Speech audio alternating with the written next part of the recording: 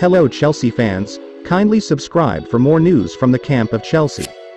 Chelsea continued as Mason Mount's double gave Chelsea a 2-0 Premier League victory at struggling Aston Villa on Sunday. Chelsea are unbeaten in six games and the win at Villa will be the fifth in a row in all competitions.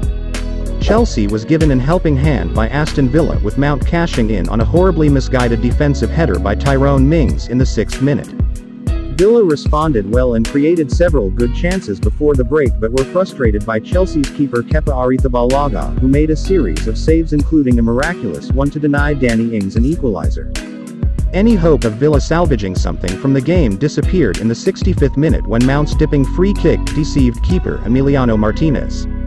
Victory left Chelsea in fourth place with 19 points from 9 games, 4 behind London rivals Tottenham Hotspur. Ben Chilwell's pass was deflected up in the air and Mings got his clearing header all wrong, glancing it backwards towards his own goal where Mount pounced to volley home. Chelsea's goal led something of a charmed life after that with Arrizabalaga producing excellent saves to keep out efforts by John McGinn and Jacob Ramsey as Villa attacked with verve. His best effort, however, was springing through the air to keep out an Ings header from point-blank range. Raheem Sterling was denied by the woodwork as Chelsea looked dangerous going forward but rocky at the back.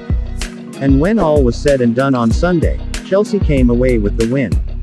Thanks for watching and kindly subscribe to this channel for more of this, see you in the next video.